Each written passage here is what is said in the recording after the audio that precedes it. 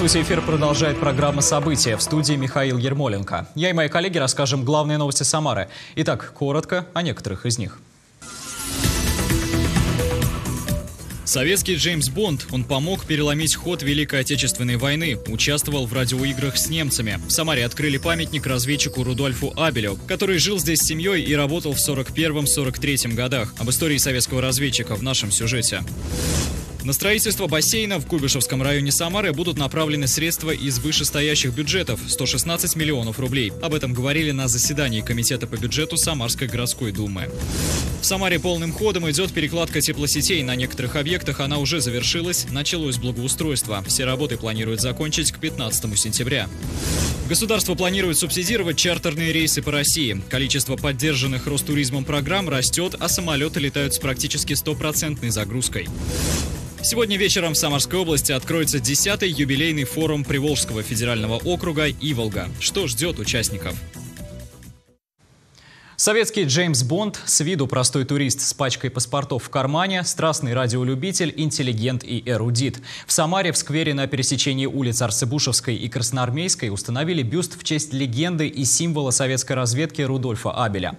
В торжественной церемонии открытия и возложения цветов к памятнику приняли участие почетные гости, среди которых сотрудник администрации президента России Владислав Кононов, депутат Госдумы Александр Хинштейн, глава Самары Елена Лапушкина. На церемонии побывала и наша съемка съемочная группа.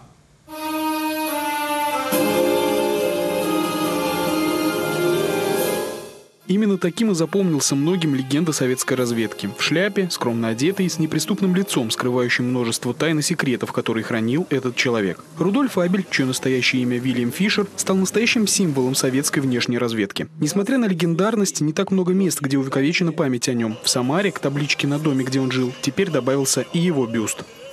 Вильям Генрихович был задержан американской контрразведкой, он не только не сломался, не только не сломился, своей энергией, своим мужеством, своей верой в правоту дела, которому он служил, он заряжал всех, кто находился вокруг него. И американских контрразведчиков, и судей, и людей, находившихся вместе с ним в тюремном заключении – Почетные гости, среди которых были сотрудник администрации президента России Владислав Кононов, депутат Госдумы Александр Хинштейн, глава Самары Елена Лапушкина и другие, возложили цветы к бюсту Рудольфа Абеля, который был удостоен сразу восьми государственных наград. Памятник в его честь установлен в рамках совместной программы Российского военно-исторического общества и Российского исторического общества. Посвящена программа забытым или малоизвестным героям, военноначальникам, разведчикам и контрразведчикам. В рамках этой программы от Калининграда до Владивостока устанавливаются бюсты, открываются памятники, открываются памятные доски нашим прославленным предкам, на которых стоит равняться и сегодня. На историях о Рудольфе Ивановиче воспитано не одно поколение советских и российских разведчиков и сотрудников органов государственной безопасности. Это действительно безгранично любящий свою родину человек был – беззаветно трудился, совершал героические поступки, высочайший профессионал, очень мужественный, стойкий человек. Бюст Рудольфа Абеля установлен в безымянном сквере на пересечении улиц Арцебушевской и Красноармейской, который также могут переименовать в его честь, чтобы горожане могли назначать встречи в сквере имени легендарного советского разведчика. Андрей Горгуленко, Константин Головин. События. Куйбышеве, находясь вдалеке от фронта, легендарный разведчик помогал советским войскам переломить ход войны, участвовал в радиоиграх с немцами. Об истории работы Абеля в нашем городе и подробнее о его персоне расскажу в следующем материале. Путь рожденного в Англии в семье русских политэмигрантов Вильяма Фишера во внешней разведке начался в 1927 году. Он вернулся в Советский Союз, а в возрасте 24 лет получил должность кадрового сотрудника спецслужб. Фишер владел несколькими языками, в том числе английским, поэтому с 1929 по 1936 год работал разведчиком в Англии и Польше. По возвращении в Москву получил звание лейтенанта, однако спустя некоторое время был неожиданно уволен из разведки. Предположительно, такое решение принял Берия. Он не доверял тем, кто работал с врагами народа, а Фишеру за время службы за рубежом довелось сотрудничать с перебежчиком Александром Орловым. В 1941 году после пятилетнего перерыва Вильяма Фишера вновь принимают на службу. Возникла нужда в опытных специалистах. С этого небольшого дома по улице Молодогвардейская, 8 началась куйбышевская история Вильяма Фишера. Его семью эвакуировали сюда в 1941 году. И хотя легендарный разведчик был вдалеке от фронта, здесь разворачивались события, которые во многом помогли переломить ход Великой Отечественной войны. В Куйбышевской области Фишер пробыл меньше года, но за это время успел выполнить несколько важных заданий. Известно, что в 1942-43 годах, когда здесь размещался центральный аппарат НКВД СССР, советской разведкой при участии Фишера проводилась радиоигра, в документах проходившая под названиями «Монастырь» или «Послушник». Немцам подбросили информацию, что в Куйбышеве якобы действует антисоветская религиозная группа, что сыграло немаловажную роль в подготовке успешных операций Красной Армии в 1943 году. Одним из основных заданий Фишера на берегах Волги была подготовка молодых разведчиков-нелегалов и диверсионных групп. В 110 километрах от Куйбышева в Серноводске Фишер работал наставником в специальной школе разведчиков. Историки отмечают, что роль учителя была для него непривычна. Сам Вильям Генрихович рассказывал, люди его профессии привыкли больше слушать и меньше говорить. Он их а, обучал а, радиоэлектронному делу, криптографии, а также спецификой маскировки и адаптация в э, среде противника. И далее, с точки зрения даже концепции третьего сознания Михаила Чехова, нужно было провести э, капитальную работу над своим образом. То есть, э, чтобы ты не был, допустим, Александром Ивановым, а должен был, был быть Фрицем Дицем. После победы Советского Союза в войне уже в 1947 году Фишера ждало новое задание. В качестве нелегального агента его отправляют работать в США. Основная задача за океаном – сбор информации об американском атомном оружии. Несмотря на успех многолетней операции, в итоге разведчика разоблачили. Тогда, в 1957 году, весь мир узнал его под псевдонимом Рудольф Абель. После ареста ФБР Фишера судили. Приговор 30 лет заключения. И кто бы мог подумать, что все те же Соединенные Штаты Америки помогут разведчику вернуться домой. 1 мая 1960 года над Советским Союзом проводился разведывательный полет на самолете У-2. За штурвалом находился американский пилот Фрэнсис Пауэрс. Он пролетел аж до Свердловска, представьте себе, над нашей территорией, был сбит, Пауэрс был э, взят, так скажем, э, с поличному, осужден, ну и в результате, значит, у нас появилась э, возможность обмена Значит, и в 1962 году значит, Абеля обменяли на э, Пауэрса. Считается, что добытые Фишером Абелем в США данные позволили избежать денежных вложений в тупиковые исследования ученых СССР и разработать первые прототипы атомного оружия. Советский Союз включился в гонку вооружений, быстро вырвавшись вперед. Даже несмотря на арест и раскрытие, Вильям Фишер, более известный как Рудольф Абель, вошел в историю как гений нелегальной разведки. Михаил Ермоленко, Анатолий Головко, Василий Колдашов, Григорий Плешаков. События. Строительство бассейна, новая техника для уборки города и ремонт детских лагерей. Депутаты Самарской городской думы приняли новые изменения в бюджет Самары. Были учтены деньги из вышестоящих бюджетов, а также перераспределены некоторые статьи расходов. Участие в заседании приняла и глава Самары Елена Лапушкина. Подробнее Андрей Горгуленко. На 145 миллионов рублей пополнилась казна Самары из вышестоящих бюджетов. Распределение средств обсуждали на Комитете по бюджету городской думы. Основная часть этих денег будет направлена на строительство бассейна в Куйбышевском районе. Львиная доля идет на э, строительство э, плавательного бассейна на территории Куйбышевского района. То есть э, мы параллельно отслеживаем и ход работ. Вот, и понятно, что ну, нужно выполнять обязательства по оплате, сказать, уже выполненному. Кроме того, поступившие деньги будут направлены на закупку техники для уборки города и покупку квартир для детей-сирот и инвалидов. Бюджет у нас социально направленный, как и был. Изменения в бюджете происходят постоянно. Сегодняшние э, изменения – это одно из. Э, конечно, оно далеко не последнее. Также депутаты приняли перераспределение средств на сумму более 35 миллионов рублей. Деньги будут направлены на подготовку города к зиме, ремонт детских лагерей и восстановление памятников культурного наследия. Все изменения были утверждены на заседании городской думы. Андрей Горгуленко, Константин Головин. События. В Самаре продолжается подготовка к предстоящему отопительному сезону. На заседании еженедельного штаба руководители администрации районов, ресурсоснабжающих организаций и подрядчики отчитывались о ходе работ. Продолжение в репортаже. На улице Молодогвардейска шумит строительная техника. Подрядчики завершают работы по перекладке теплотрассы. На отрезке от студенческого переулка до Ульяновской теплосетевой объект уже обновили. Сейчас идет благоустройство. Полоса проезжей части уже заасфальтирована. Продолжается установка бордюров, подготовка к укладке брусчатки. У пересечения с Ульяновской осталось демонтировать всего одну старую теплокамеру и приступить к установке новой. Трудности есть. Вот, э, э, значит, э, монолитная не неподвижная опора попалась. Не можем ее экскаватором взять, но сейчас приедет э, гидромолот, и мы э, это, раздолбим ее. Ну и все, и будем демонтировать, а потом уже э, монтировать новую теплокамеру. При этом все жители окрестных домов будут с горячей водой, сделают времянку, заверяют специалисты. По такой же схеме ресурс поступал и в процессе модернизации теплотрассы от студенческого переулка до улицы Ульяновской, которая закончена. На сегодняшний день в Самаре с задачами справились в полном объеме на трех участках. В первоначальном перечне их 12.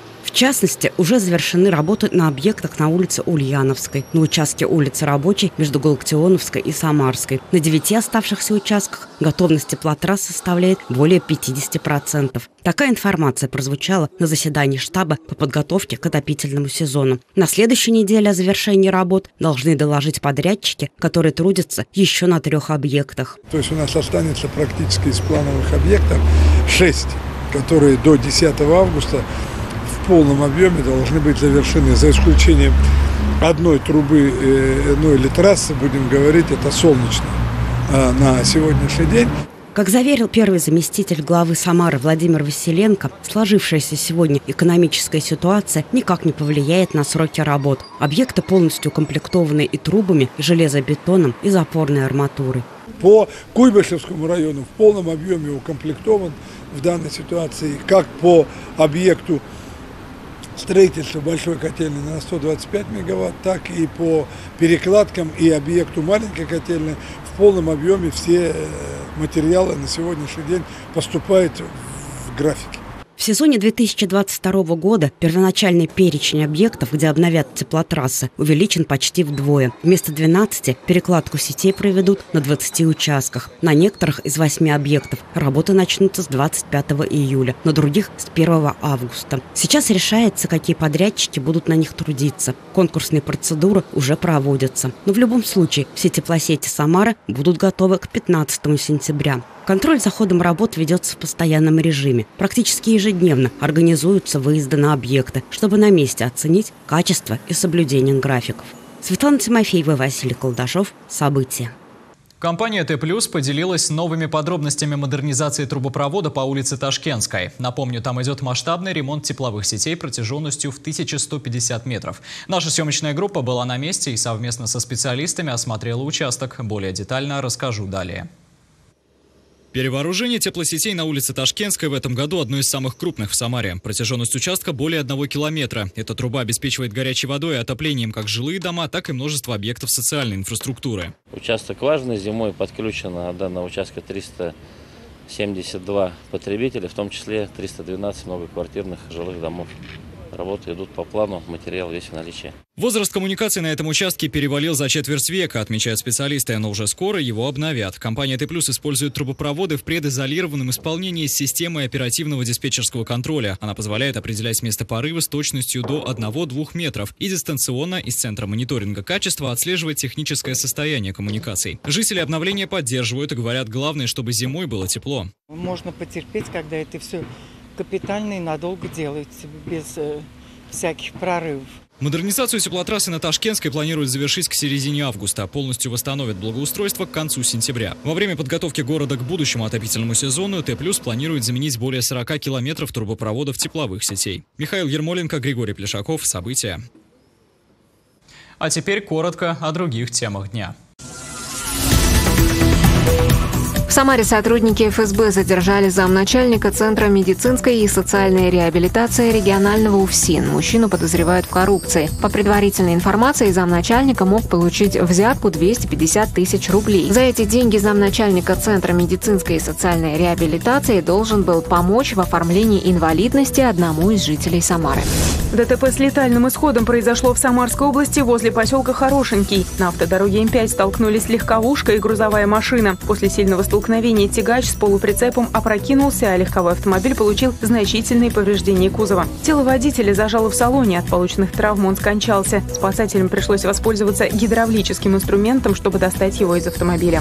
В Самаре планируют модернизацию трамвайной инфраструктуры. Об этом сообщил заместитель руководителя департамента транспорта города Юрий Топилин. По его словам, на путях есть участки, где скорость движения составов ограничили до 5 км в час. Проблему возможно решить, но это требует времени и денег. По предварительным расчетам, реализация проекта будет стоить почти миллиард рублей. Программу разбили на этапы. Стоимость работ в первый год оценили в 139 миллионов рублей. Один из участков, на которых проведут работы, это Новосадовая. Ремонт пройдет в границах проспекта Ленина и Демократической. На время ремонта движение будет перекрыто. 21 июля в Самаре перекроют движение транспорта на революционное. Об этом сообщили в администрации города. Ограничения будут действовать с 10 вечера 21 июля до 5 утра 26 июля. Власти города просят жителей Самары с пониманием относиться к работам, связанным с подготовкой города к следующему отопительному сезону и заранее продумывать свой маршрут с учетом временных ограничений. В Самарской области изменят расписание нескольких электричек. 25, 28 июля и 1 августа поезд, следующий до Сызрани, отправится из Самары в 15.50, а в Сызрань прибудет в 17.49. Поезд «Мирный» отправлением в 18.01 Новокуйбышевская на участке Самара-Новокуйбышевская проследует по измененному расписанию. Со станции «Мирная» он отправится в 18.01, в Самару прибудет в 18.26. На станцию Новокуйбышевская в 19.02. Поезд «Мирный» отправлением в 18.56 «Звезда» Сызрань-1 проследует по расписанию «Мирное» отправлением в 18.49 в Сызрань прибудет в 22.21. Поезд Сызрань 1 «Мирная» прибытием в 18.00 на участке Сызрань 1 Самара также проследует по измененному расписанию. Из Сызрани он отправится в 14.49, в Самару прибудет в 17.16, на станцию Мирная в 18.00. Поезд Сызрань «Мирный» отправлением в 18.14 теперь будет уезжать в 17.54. Кроме того, 26-29 июля и 2 августа поезд Самара-Новокуйбышевская отправлением в 7.38 будет уезжать в 7.30. Также 25, 26, 28, 29 июля, 1 и 2 августа в связи с изменением расписания пассажирского поезда вносятся изменения в расписание движения пригородных поездов на участке Мирная, Самара, Сызрань, 1.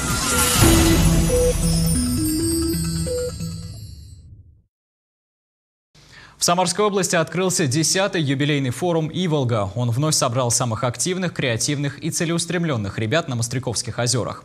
Молодежный форум проводится под патронатом полномочного представителя президента Российской Федерации в Приволжском федеральном округе Игоря Комарова. Организатором выступает правительство Самарской области при поддержке Федерального агентства по делам молодежи. Большое внимание поддержке творческой молодежи уделяет и губернатор Самарской области Дмитрий Азаров. В юбилейный год в форуме примут участие представители Луганской народной Народной Республики и Республики Беларусь. Посетят поляну на Мостряковских озерах и ребята из Донецкой Народной Республики. Шатры преобразились, каждый час появляются тематические арт-объекты и выставки. В этом году вся образовательная и культурная программы Иволги объединены общей тематикой – единство народов России. В день открытия участники станут свидетелями танца шаманов, услышат музыку в стиле фанк, а также ближе познакомятся с историей форума и смогут лицезреть дефиле участников регионов. В заключении торжественной церемонии церемонии открытия на главной сцене форума выступят певицы Инна и Диана Рахман, а хедлайнером станет певец, актер и блогер Ваня Дмитриенко. Живое общение и гармония с природой. На Заволжских островах отдых в самом разгаре. Еще в начале лета самарцы поставили палаточные лагеря и уже второй месяц наслаждаются отдыхом вдали от шумного города. Почему люди предпочитают релаксировать не на морях, а в полевых условиях и как обустраивает островной быт, узнала Светлана Кудрявцева. Большая волжская семья, так называют себя самарцы, которые на лето перебираются жить в палаточные лагеря. Зоя Гуреева ставит лагерь на острове Зелененьком в Красноглинском районе уже 15 лет. В этом году с семьей и друзьями разбили палатки в первые дни лета, хоть оно и выдалось прохладным. По выходным островная жизнь кипит, а в будни идет размеренно. Ну, у нас много народу, как бы я не одна здесь стою, у меня друзья здесь живут. Вот. У кого отпуск когда совпадает, когда как ну, кто-то в лагере все равно находится. А вот так вместе живем. Ну, палаточки стоят с детьми. Просто сегодня будний день. У многих закончился отпуск. Не у всех. А у некоторых только начнется. А они приедут сюда отдыхать. Приезжают на остров периодически и гости из других регионов. Мы же сейчас в Затоне, а Волга-то там, с той стороны. Люди говорят, вы куда ездите, на какие моря? Вы что, совсем с ума сошли? У вас просто здесь просто прекрасно. Они в экстазе. Им настолько нравится, говорит, никакого моря не надо. Быт на острове налажен. Есть и электричество, и газовая плита, и даже оригинальный холодильник. Привозишь пятюшечку воды, ставишь, и три дня у нас морозильная камера – Пенопласт свое дело делает. Все замороженное, абсолютно. То есть тут и электричества ничего нет? Не требуется. Ничего, электричества здесь нету.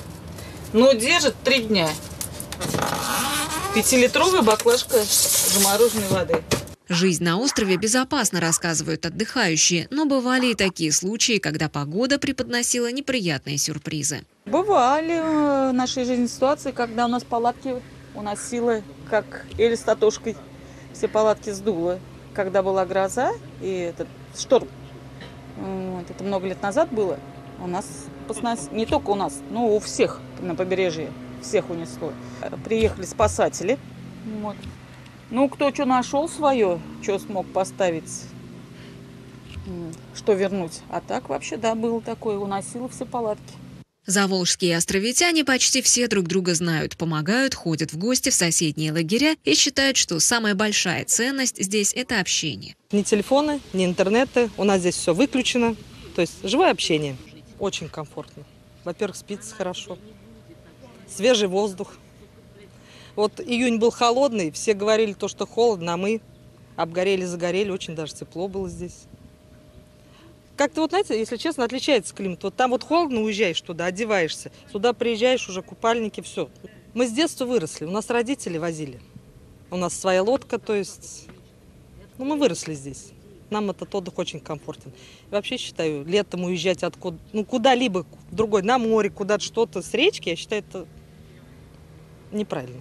Остров Зелененький считается одним из самых чистых и красивых мест Самарской области с песчаными пляжами, густой зеленью и уникальными видами. С одной стороны возвышаются Сокольи горы, с другой – Жигулевские. Удовольствие здесь получают не только люди, но и питомцы, которые тоже остаются жить на природе до конца лета. Светлана Кудрявцева, Григорий Плешаков. События.